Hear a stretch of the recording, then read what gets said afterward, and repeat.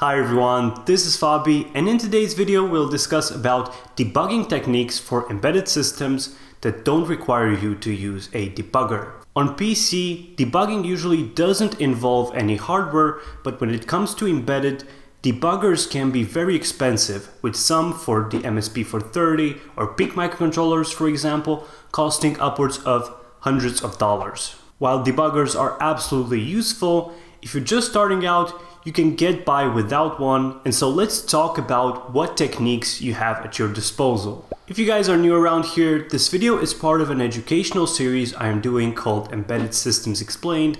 And the aim of this series is to teach you embedded systems concepts in a simple to understand manner and with examples so that you know where they're used in the real world. If you want to check out the other videos in this series, there's going to be a link to the playlist in the pinned comment down below. The fact that you work with the hardware directly when writing code for embedded systems does come as an advantage as you can use the hardware to better debug your code. The most common technique is to use LEDs to indicate that a certain snippet of code has just run. What you would do is either toggle the state of an LED when reaching a certain point in the code execution or turn on the LED for a few seconds. The first option is the most desirable as it requires the microcontroller to run just one instruction to achieve what you want to do, thus introducing basically no perceptible delay in the code execution. The second option requires a delay long enough so that the human eye can comfortably tell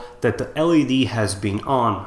One way we can do this is through wasting CPU time, which just means that the microcontroller runs the same dummy instruction over and over again for the duration of the delay, but this is absolutely not recommended. This is not efficient and this can also break functionality in case of some applications because basically your microcontroller is trapped running this dummy instruction over and over again and can't handle other tasks during this time. Another more elegant way is to set up a timer which is going to generate an interrupt let's say one second later at which point we can turn off our LED back. While this is more efficient it still does require quite a few lines of code to be written for what it does and so in the end I would just recommend you guys stick to toggling the state of the LED.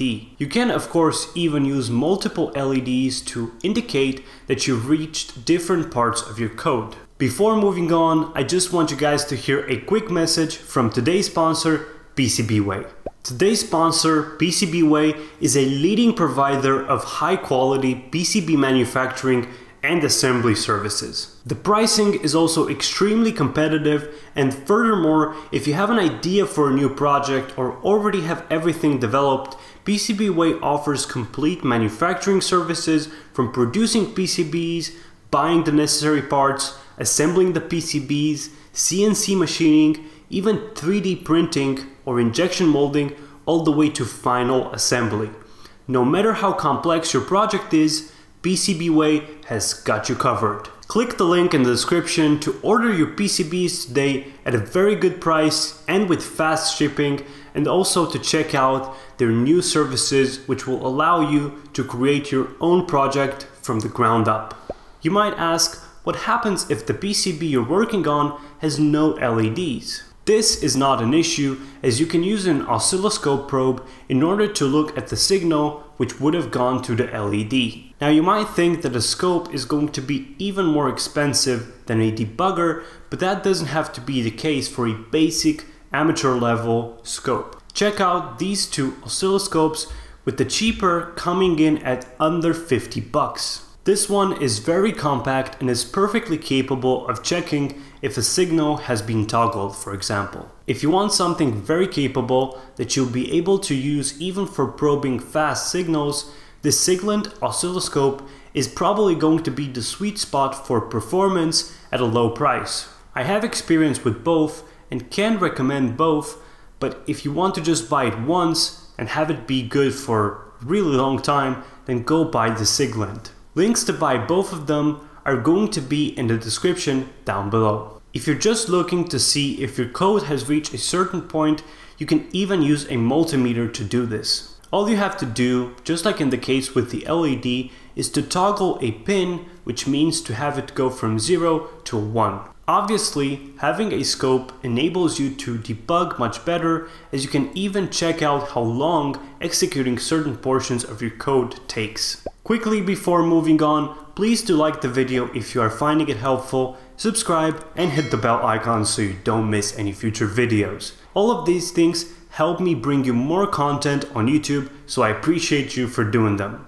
Another popular option for debugging embedded systems is to use the LCD of the system to show the value of certain variables or simply to indicate that your code execution has reached a certain point. A lot of embedded systems have these LCD displays as the user interface, so using it during the development phase as a makeshift debugger is very easy. This would be the most similar technique to using printf when debugging computer applications. But talking about printf, a good question would be why is this technique not relevant in embedded systems? Alright, so given that embedded systems are independent from the PC or laptop we write code and debug from, using printf is not as straightforward as when you would write code for a computer application. You would need to have a serial communication interface running between the microcontroller and the PC you are debugging from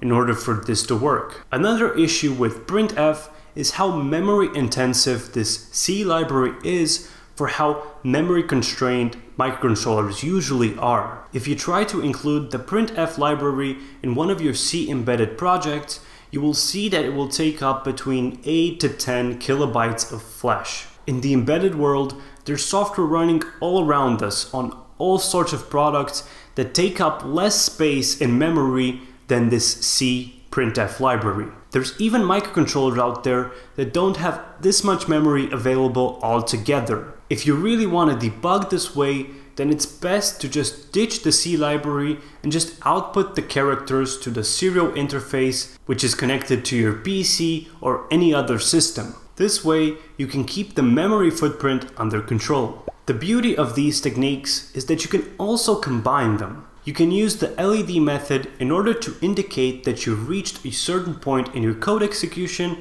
and then use the LCD to display a certain variable, which can be anything from an internal counter to the results of let's say an analog to digital converter. Anyways, I hope you guys found this video useful. In the description down below, you'll be able to find links to today's sponsor, PCBWay and also to the MSP430 Launchpad, which is an embedded development board that can get you started into the world of embedded systems. You will also find links to buy the scopes I talked about in this video. Stay tuned, I'll catch up with you in the next video.